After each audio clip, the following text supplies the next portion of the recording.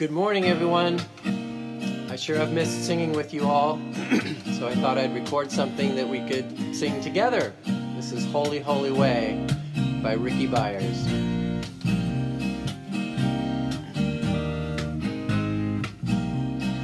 Oh, let me love in a holy, holy way. Let me love, let me love in a holy, holy way. Oh, let me love in a holy, holy way. Let me love, let me love in a holy, holy way. Oh, let me know that love is all around. Let me know, let me know that love is all around. Oh, let me know that love is all around. Let me know, let me know that love is all around. Oh, let me love in a holy, holy way.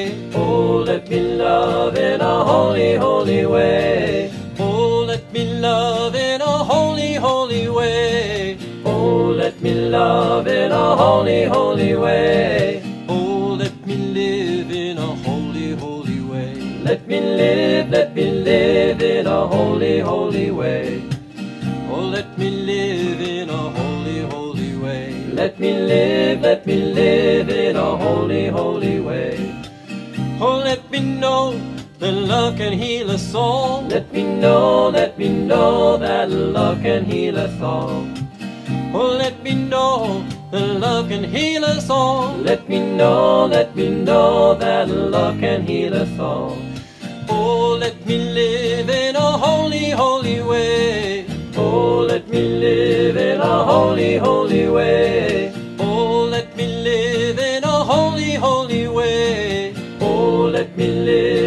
A holy, holy way. Oh, let me love in a holy, holy way. Let me love, let me love in a holy, holy way.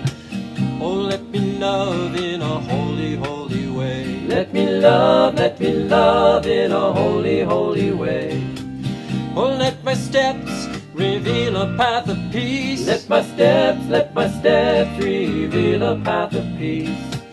Oh, let my steps reveal a path of peace. Let my steps, let my steps reveal a path of peace. Oh, let me love in a holy, holy way. Oh, let me love in a holy, holy way. Oh, let me love in a holy, holy way. Oh, let me love in a holy, holy way. Oh, let me love in a holy, holy way. Let me love, let me love in a holy, holy way.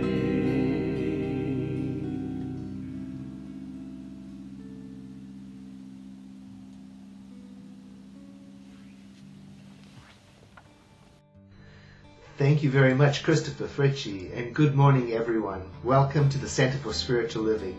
I'm Edward Viljoen, and I'm pleased to welcome you to our service. If you are visiting with us for the first time, welcome.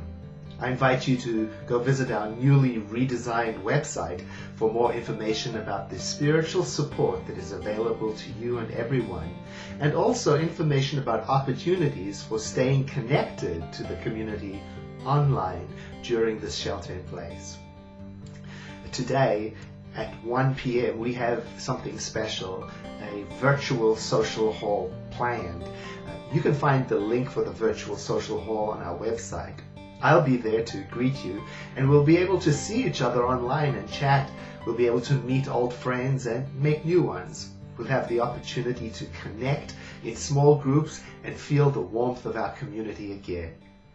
Today we have a special message from our treasurer, Bob Hart. Well, making one of these videos, you know, it's a little bit like talking to yourself. You're alone in a room somewhere and trying to figure out what to say, and nobody's listening. so, welcome to my world. This is the world of the um, treasurer. And what an exciting couple of months this has been since we last met at the annual meeting. What a mountain of things have taken place. I think uh, I would, would like to let you know how appreciative we all are uh, for those of you who are able to continue giving um, on a regular basis. And but also to let people know who aren't able, because you know we're all feeling the pinch of this, to know that um, take care of yourselves first. We've been doing all kinds of things to uh, make ends meet. You know, there's uh, the center's been closed since about the middle of March. The staff and the facilities folks have done a lot of work to make sure that the you know utilities are turned down and you know no, we're not using garbage because we, we don't have garbage, so we discontinued that. While we're all hoping that this is going to be over quickly, we have to plan for, uh, on a financial standpoint, we have to plan for this lasting for a long time.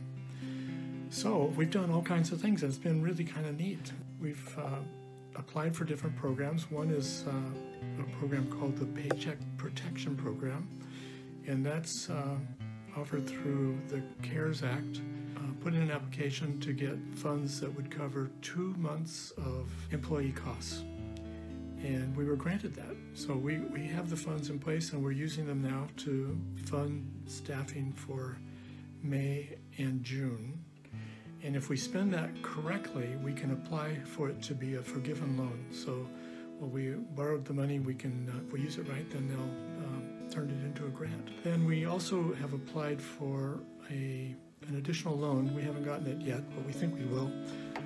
And that'll be used to help uh, cover costs on a long-term, more of a long-term basis. In addition to that, we have uh, applied for what's called the uh, mortgage relief program. And the bank gave us a 90-day reprieve on our mortgage payments. The giving has been really very strong. I mean, there's been a drop-off, but the the amount of funds that are coming in from all of you folks has been heartwarming and uh, gives us all confidence that we, with a little bit of augmentation and maybe dip, dipping into some savings here and there, that um, that we'll get through this and make it for uh, for a long time, for as long as we need to. So we come out of this on the other end even better as a community. I mean, people are just pulling together so wonderfully. And uh, so a big thank you to all of you who are able to continue uh, giving and our heartfelt appreciation for those who have to cut back a bit or can't give because of the, of the hardships this is causing. And we certainly understand that. We don't want anybody to feel bad about not being able to maintain at the same level as when things were uh, running so smoothly. So until next time, this is Bob Hart, your treasurer, signing off. Bye. Thank you, Bob, for all the work you are doing behind the scenes with our staff and trustees to ensure that our community is well through this time. At the Center for Spiritual Living, we are motivated by a vision of a healthy, loving world. It is called the Global Vision, each week we read a portion of the vision to remind us of where we are going and what we are growing into. Please join me in reading this week's portion of the global vision. We see a world in which there is renewed emphasis on beauty, nature, creativity, art, and aesthetics. It is time now to turn our attention within. After a beautiful trumpet prayer meditation by our friend Reverend Kaya Abendroth, practitioner Betty Smith will speak a spiritual mind treatment for us which is our form of affirmative prayer, and then she will guide us in reading today's affirmation. Thank you again for being here. I know that somewhere between the music, the meditation, and prayer is exactly what your heart is seeking for the next step of your spiritual journey. Now, if we were together, we would be settling into our chairs, becoming aware of our breathing, and abandoning all distractions to allow the next hour or so to soothe our souls. I invite you to do that with me now for this moment of musical and visual inspiration. Welcome.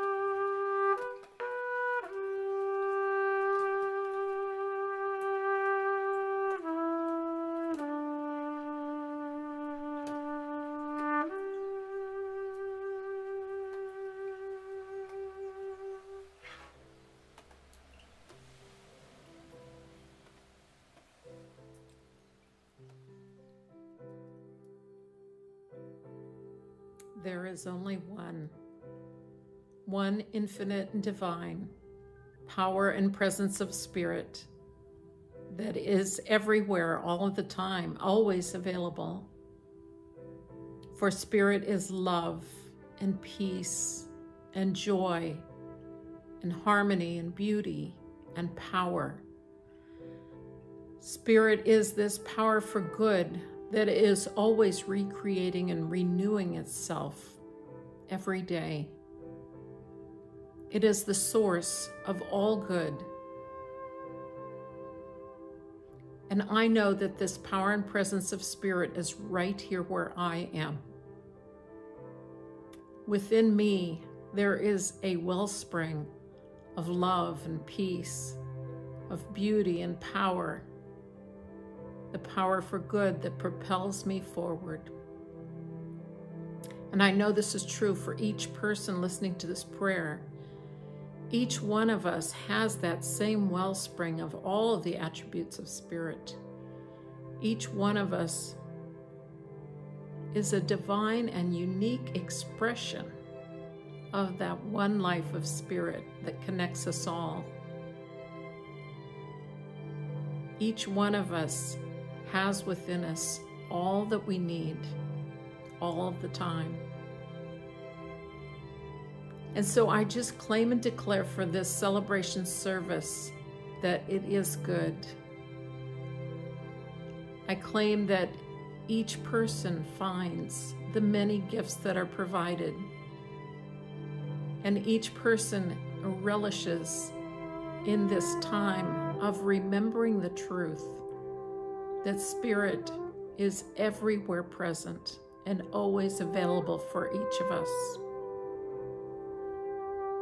And so, with a heart full of gratitude, I release this word into the law, and I can just let go and let it be.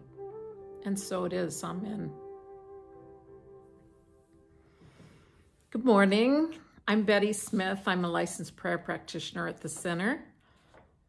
Please read with me today's affirmation from our Beyond 2020 spiritual book of affirmations. The world I live in is all that it appears to be, and it is so much more. I am open to an experience of life that is beyond my wildest dreams. And so it is.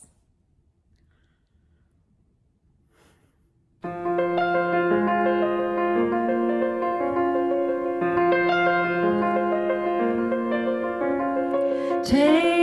the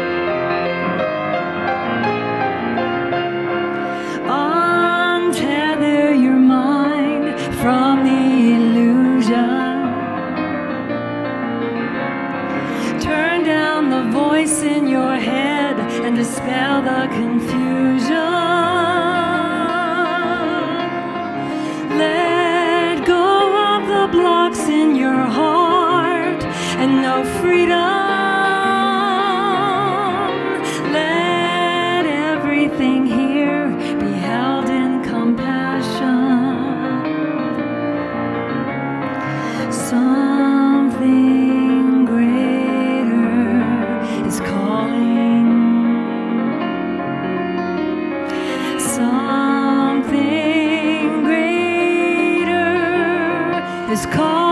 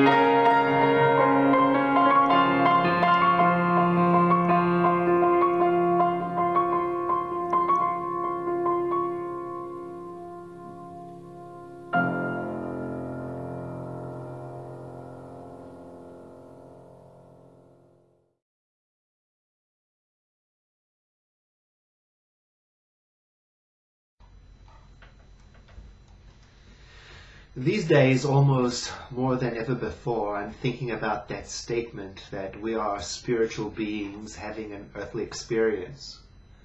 Today, there are so many things spinning around news cycles, pinging cell phones, and countless messages shouting at us, seemingly to bind us ever more securely to our earthly experience and potentially to the detriment of our spiritual experience and aspirations. With that in mind, I find my daily news intake is a powerful place to practice and deepen my spiritual awareness. Mainly because I'm reading about global and local events that seem to go contrary to my spiritual understanding. I realize I must be diligent and put into practice what I've learned. I must stay close to the truth while I take in what is happening around me. The recent shooting of a 25 year old black man in the state of Georgia, Ahmaud Arbery, by two white men got me to thinking about how do I understand racism through the filter of our science of mind teaching. If we are all one, and oneness is at the core of our teaching, how do we approach the stark duality of racism and address it in a spiritual framework? Racism is antagonism directed toward, against another person of a different race based on the belief that one's race is superior. It is based by definition on a belief in duality, in separateness. Now let us put that alongside what our science of mind teaches. That there is only one reality, oneness. There is a power, it teaches, that we may all use and use it in any way we see fit, according to our needs. And this implies equality of all, the exact opposite of duality. As many of you already know, the first step in affirmative prayer is to acknowledge that power. And the second step is the acknowledgement that we are one with this power. Not only us, not only the people we love, not only the people who look like us, but all people. For if one person could be omitted from this formula, the entire equation would be invalid. So it seems to me in this framework of all being one with the ultimate creator, that the idea of racism can have no basis and no validity, not in spiritual terms, and yet we are physical beings And racism does exist in the world we live in, and we are products of that world. The Christian pastor Ezra Beyer, in his May 8 uh, blog post responding to the shooting of Ahmaud Arbery, discusses three ways he sees uh, racism, sh- racism showing up in the world. And one way is intentional racism. That's when a person simply believes they are superior to another based on race. The second way racism shows up, he calls self-serving racism, uh, where one may be aware that something like a statement or a hiring practice or a joke is racist, yet uh, they refrain from speaking up, addressing the racism because they don't want to make waves or rock the boat or damage a friendship or upset a family member. The third way of racism is born of ignorance. That is racism that is perpetuated without the person being aware of it. For example, because we uh, it, it operates in us like a hidden belief. That's why we're unaware of it. And sometimes that's inherited, and sometimes that's learned from the norms of society that we grow up in. Now, this kind of racism can show up when a person believes that they are not racist because, for example, they don't see color. They see everyone as the same. Now, I have been made to understand that when I say I do not see a person's color, it means I also cannot see the issues they, fe- they face in our society because of their color. I may up, I may end up denying, or even worse, not seeing the genuine struggle that person deals with. And that stops me from being their ally. Now, the racism here is subtle, but likely just as damaging because it denies the experience of the person being discriminated against. The solution is ironic because uh, to see the oneness in others and to embrace our essential spiritual connection with them, we must acknowledge our differences and sincerely seek to understand how they play out experientially in our society. Let us go back again to our teaching. There is a power in the universe, and we may all use it. It is a divine spark in all of us. It is the essence we all share with each other. Indeed, it's the one thing we have in common.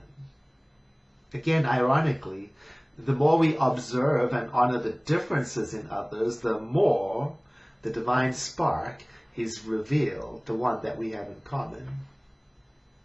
An important practice then in spiritually addressing racism is to acknowledge our physical, racial differences, honor them. It is not a spiritual error to see individuality and differences when at the heart of the seeing we keep in our mind our true oneness. Now, why this is so vital to me, especially in our monochromatic community, is because it is a step toward accepting that we do not truly understand what it is like to be of a different color. I have been introduced to actions I can begin taking to uh, further expand my awareness of racism in the world and how I can respond to it. And the first is to include people who are directly affected by racism, people of color, in conversations about racism. And not because it's polite or kind to do so, but because without their voice, we cannot understand. For example, what is the experience of Asian Americans during this pandemic? Talking to people of your same race may be a place to start, but the convers conversation will expand into actual effectiveness if people of color are included. Now, how will you do that if you live in a predominantly monochromatic community like ours is? Well, we have to be dutifully creative and committed to finding ways to be opened up. There is always a way. For example, consider PBS's recent article, 10 Black Authors Everyone Should Read. You see, you and I can bring into our thinking the experiences, the history, the points of view, and the struggles from beyond our close circle of friends so that we include the experiences and struggles and points of view of those most affected by racism, to bring it into our consciousness. And then in this way, through our honoring of differences, we can become more and more sensitive to the reality that people with different skin colors have different experiences of life, even while we are essentially one in spirit. At Centers for Spiritual Living, we are motivated by a vision of a healthy, loving world, a world that works for all. So it is no surprise then that racial inequity would be disturbing to us. I'd like to talk about what happens to us when we have a vision, like, for example, a vision of a world that works for all, and then we ignore the strong inner urges it produces in us beckoning us forward to following, follow it. It becomes then an unexpressed aspiration and it begins to disturb us. I want to tell you about an African American man born after the Civil War. Moved from Missouri in search of a greater opportunity and freedom and settled in New York City in Harlem. Now, in the early 1900s, Harlem was experiencing a great cultural explosion, especially for African American poets and artists and playwrights. The period would later be called Harlem Renaissance. The man I'm talking about, Langston Hughes, was a leader in that cultural explosion, and he wrote a poem titled Dream Deferred that comments on our topic today. Now, the language is a bit strong, but the point is so valuable. He writes, What happens to a dream deferred? Does it dry up like a raisin in the sun? Or does it fester like a sore and then run? Does it stink like rotten meat? Or crust and sugar over? like syrupy sweet. Maybe it just sags like heavy load, or does it explode?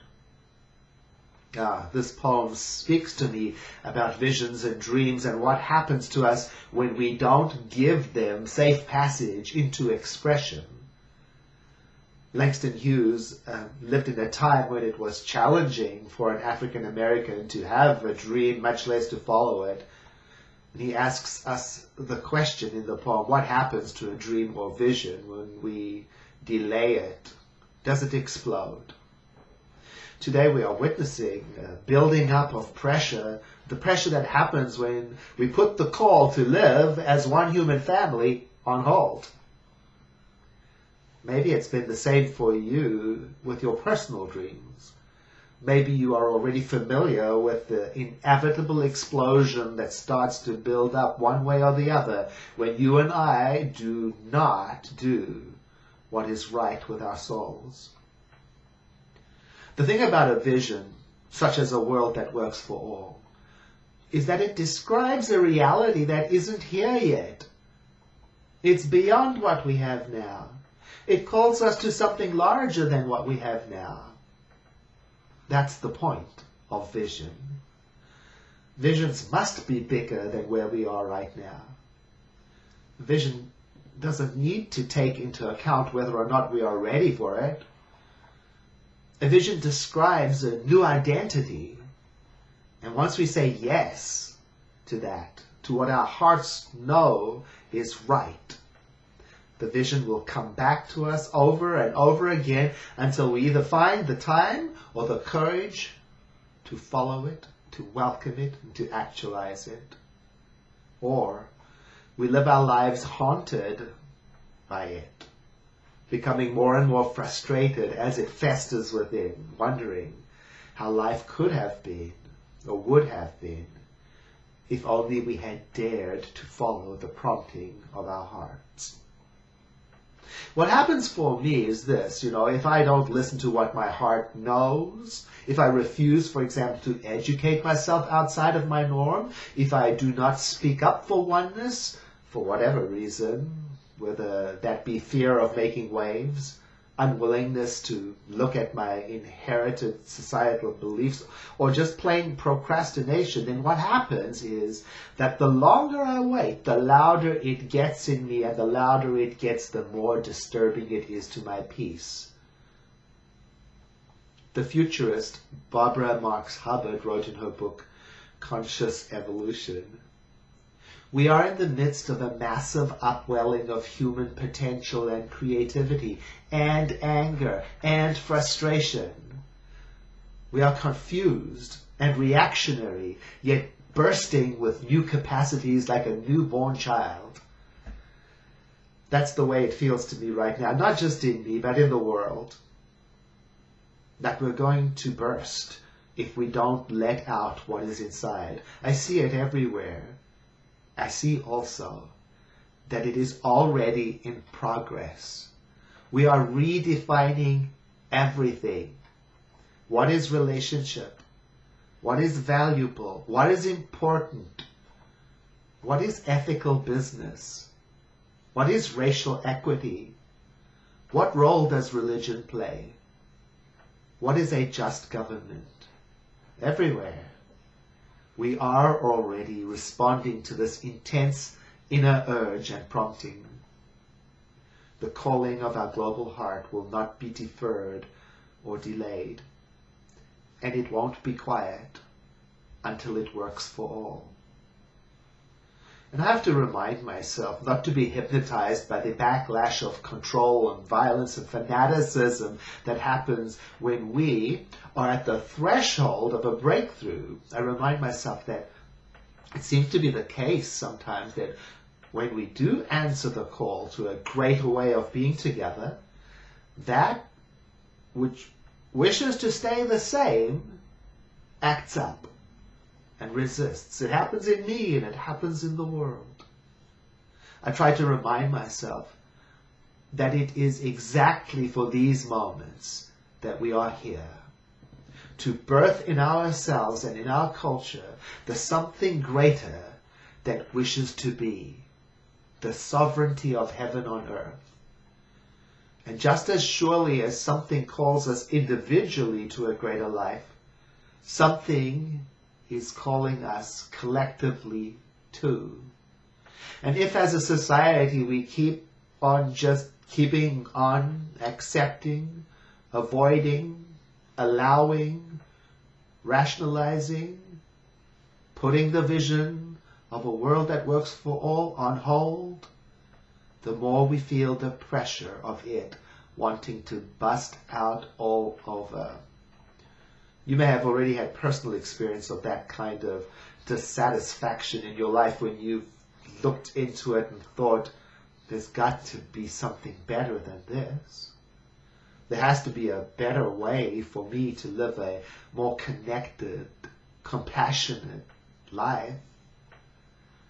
So what do you do? Perhaps this. Listen to your heart. Get really still and ask it in that place from which the divine love speaks. Ask it humbly for clarity and for understanding and for revelation and for direction, especially in how to understand racism in our world in a spiritual context.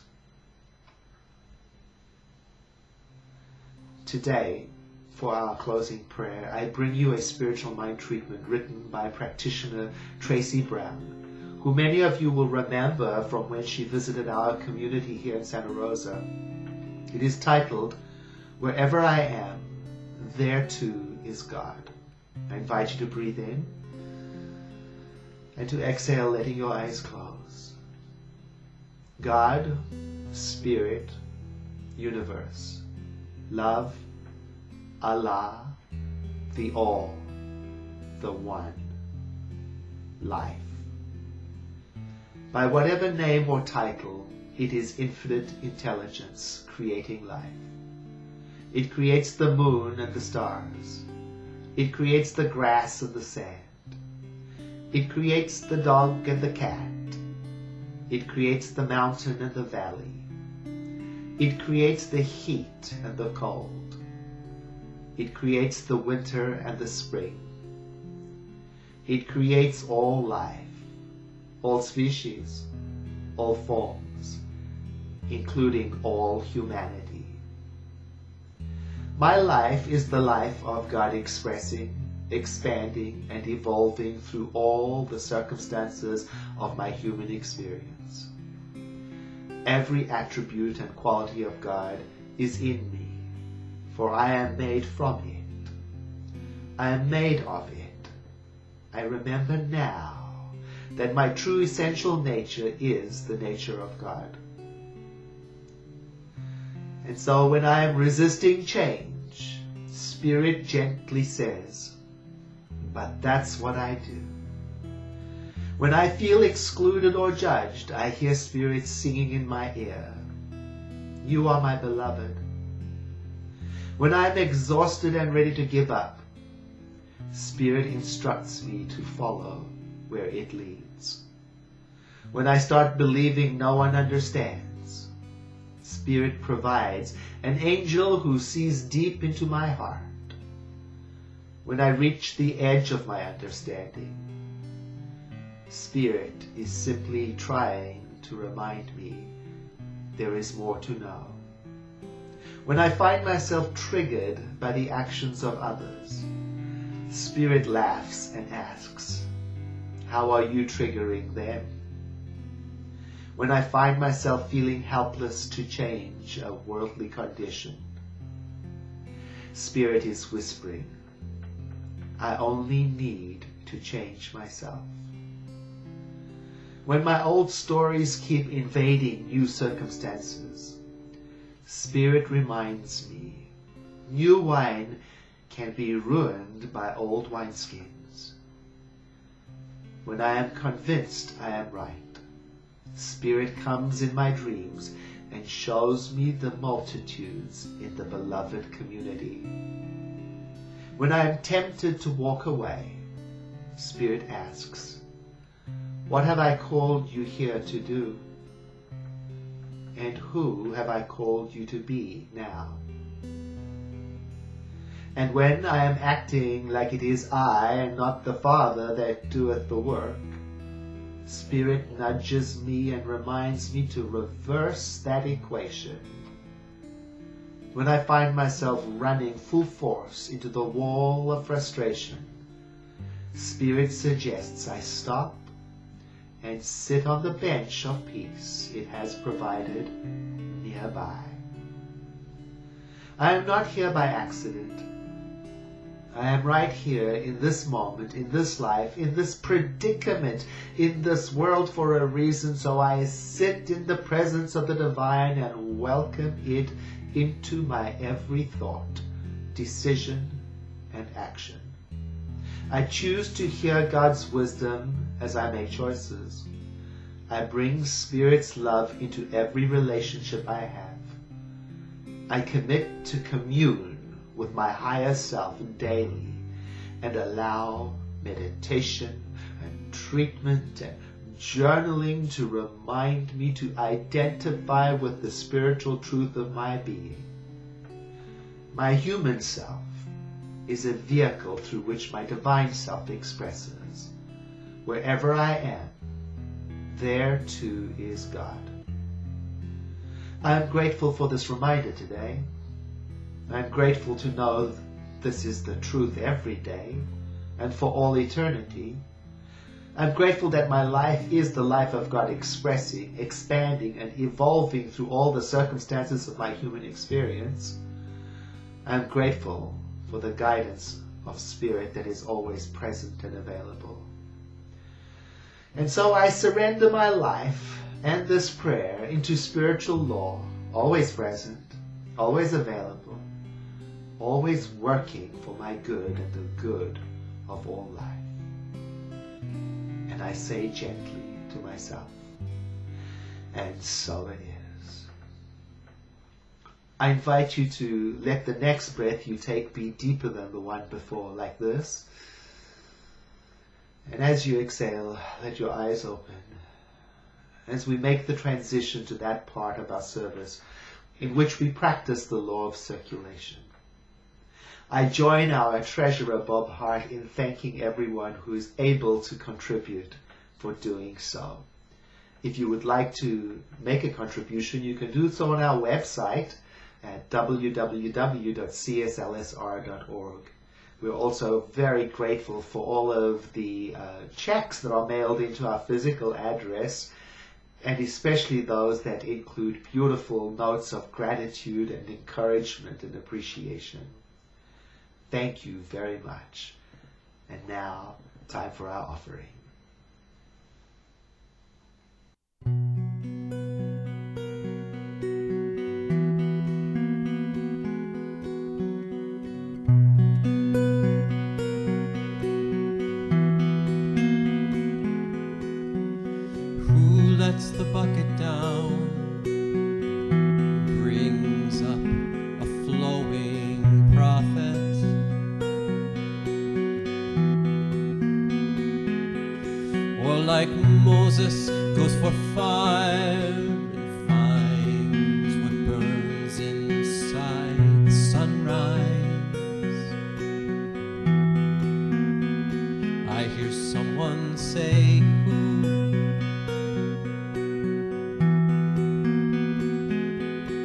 Could be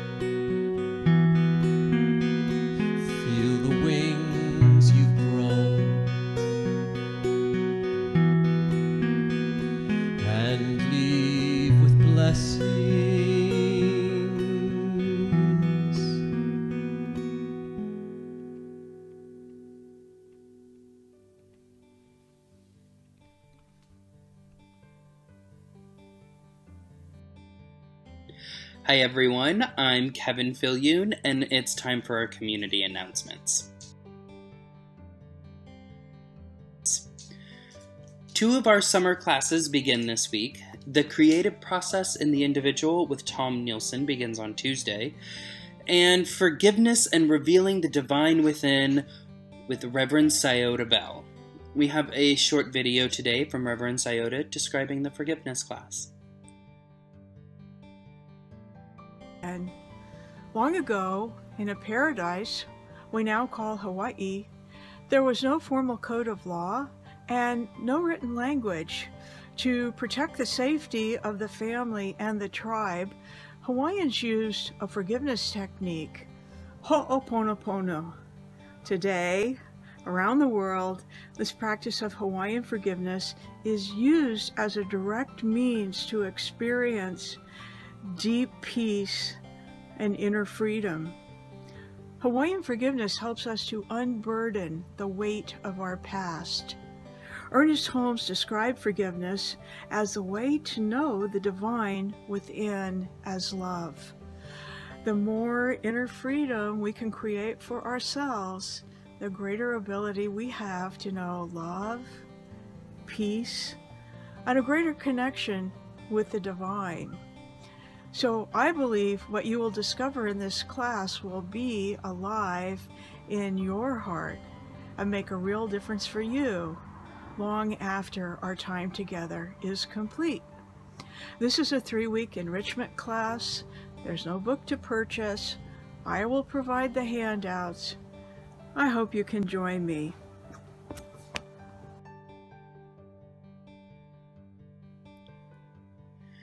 You can register for Reverend Scioto's class until 9 a.m. this Wednesday, and you have a bit longer to register for Tom's class on the creative process in the individual. But don't procrastinate because we will not be able to accommodate any late registrations for these classes.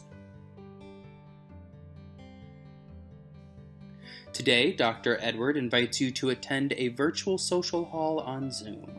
Come and get a virtual hug, connect with new and old friends from 1 to 1:30 today. It'll be fun, nurturing, and connecting. The information is on our website. So that's today, and we're expecting a full house. So Dr. Edward and I are excited to see all of your beautiful faces again. Prayer practitioners are giving free spiritual coaching sessions to our community on Zoom. If you've never had a practitioner coaching session, this is your chance to try it out. You'll be glad you did. Click on the free practitioner sessions on our website. Good morning. One of the best kept secrets here at the center is that prayer practitioners not only provide spiritual mind treatment, they also provide wise counsel. We've been trained, vetted, licensed, and relicensed to do this. The prayer practitioners are offering a spring spiritual renewal event as a gift to the congregation. It'll be held on Zoom on May 29th and 30th. You can sign up at 1 o'clock, 2 o'clock, or 3 through Reverend Scioto Bell. Just call her at 546 4543, extension 106, and she will register you for a one on one, completely confidential session. I hope you'll join us there. It truly is a wonderful experience. I'm Kathy Galvin, one of your prayer practitioners.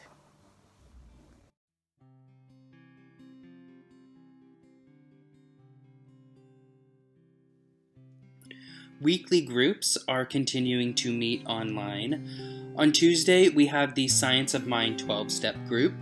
On Wednesdays, we have Lunchtime Learning hosted by Reverend Tara. Again, on Wednesday, we also have a guided meditation with Reverend Scioto Bell. And on Thursday, we have a time to sit in stillness with Reverend Tara. On Saturday, we have morning meditations.